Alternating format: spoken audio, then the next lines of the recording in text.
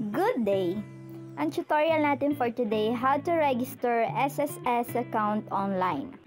Let's begin. Open mo yung browser at search mo lang sa address bar yung website ng SSS, www.sss.gov.ph.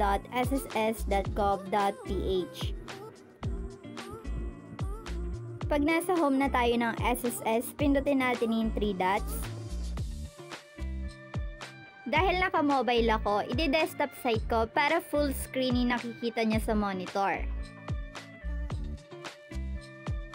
Bago tayo makapag-proceed, merong CAPTCHA. Check mo yung box ng I'm not a robot.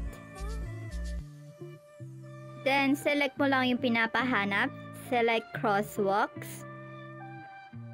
Click verify. And click submit. Sa may right side ng SSS homepage, click mo yung member. And click mo yung not yet registered. May reminders ka muna na kailangang basahin bago ka makapag-proceed. After mong basahin, check mo yung box na nagsasaad na naintindihan mo at binasa mo. Then, click mo yung proceed.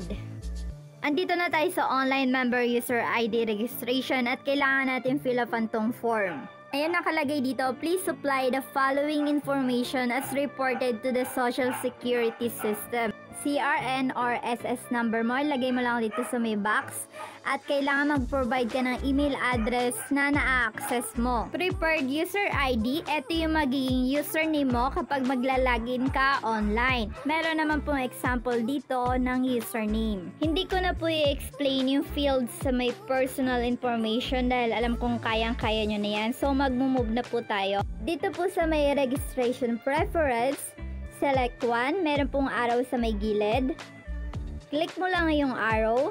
Pumili ka lang ng isa na nakaregister din sa yung SSS nung kumuha ka ng number mo. Ikiklik ko yung mobile number registered in SSS. At ngayon dahil ito yung napili ko, kailangan kong i-provide yung mobile number ko dito sa may box. Ngayon kung tapos ka na mag-fill up, check mo yung box ng I'm not a robot and basahin mo na yung terms of service at i-check mo na yung box. After that, click mo na yung submit. And merong message na magpa-pop out sa yung screen, click mo lang yung OK. At dito mababasa mo na successful mo na na-submit yung SSS web account registration application mo at kailangan mo na lang i-check yung email mo for the system notification na pinadala nila sa'yo. So, click mo na lang yung OK. And go to your email. Open yung pinadalang message ng SSS sa iyong email.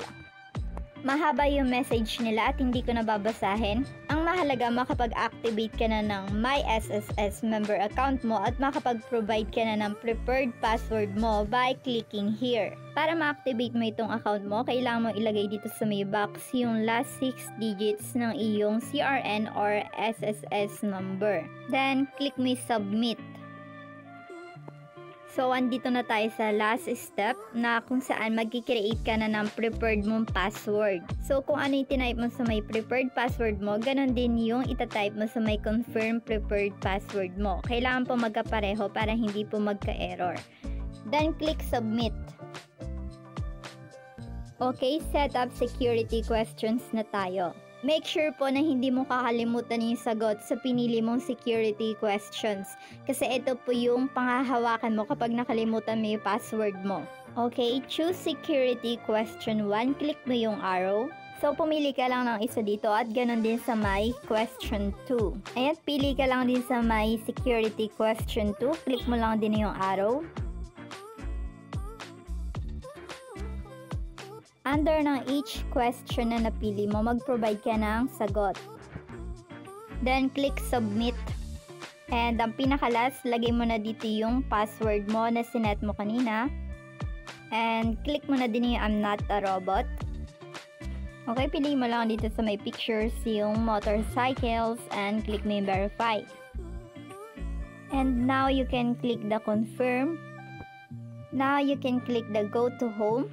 And that's it. Makikita mo na nasa loob na ako ng aking SSS account. Ngayon, alam na po natin kung paano mag-register ng SSS account online. Ang next tutorial naman po namin ay how to check SSS contribution online. At kung gusto nyo po mag-guide po ulit namin kayo, click nyo lang po sa aming description box at ilalagay din po namin sa dulo ng video na ito. Thank you!